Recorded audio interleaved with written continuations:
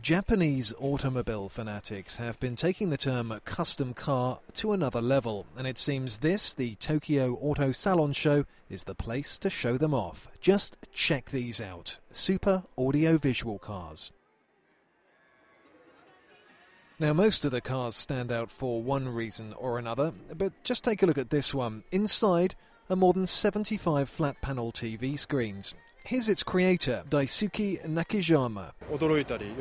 I wanted to create something unprecedented so that people would be surprised, excited, and find it cool. Well, cool isn't quite the word I'd use. In fact, totally mental springs to mind. And as for the economics of running such a head turner, these machines need a whopping three batteries each to power. Well, another car show favourite is this little beauty, which would ideally suit the aquatic gambler in you. When you lose money playing the slot machine on one side, you can then mellow out looking at the fish tank on the other side.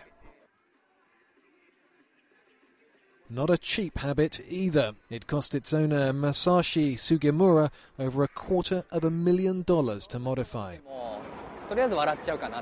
I'm hoping that my car will make everyone smile or laugh, no matter if they like cars or not.